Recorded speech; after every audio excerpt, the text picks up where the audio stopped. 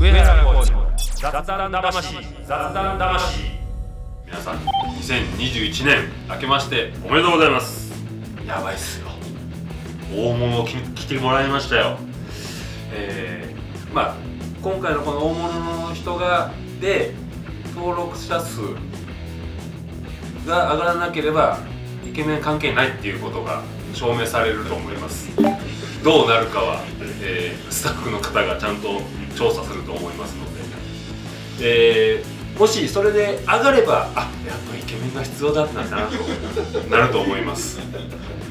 ということは次は、えー上がればイケメン誰にしますか？って、よくね言われてるのがなんか浅尾君を呼んでくれと言われたり、えーまあ、隼人小林誠司呼んでくれと言われたりというのがありますけれども。どうしましょう。そこまで僕も人脈広くないんで。やっぱりね現役選手はちょっと呼びづらいので、はい、あの OB で。コーチはどうなんかな？呼べたらねそれこそ僕はカズオとか呼んでみたいんですよね。やっぱイケメンですから。ゲストを皆さん本当に期待してください。もう僕もすごい今日楽しかったですぜひまた21年2021年、えー YouTube 僕真剣にやってますからね。今年もぜひよろしくお願いします。まあロッテの。え実際どこ行くの？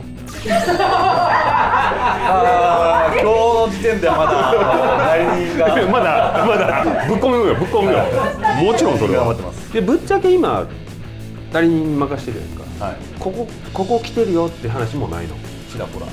何球団ぐ これ言っちゃまずいじゃないですか。らいいや何球団ぐらいい。やチーム言わんかったら大丈まあだからその気にかけてくれる夫、チームでいうと。おおいいねいいね。どこ行くかなんてな。行きたいなキャンプがそのフロリダでもしやるんだったら俺家フロリダやからちょうどもしかしたら行けるかもしれない。居候ですね。今回のゲストはあの前回ねイケメンを呼べば登録数が上がる視聴回数が上がるっていう連れてきましたよあそこで僕がこの人を頭でいきなり浮かんだっていうその選手を連れてきました。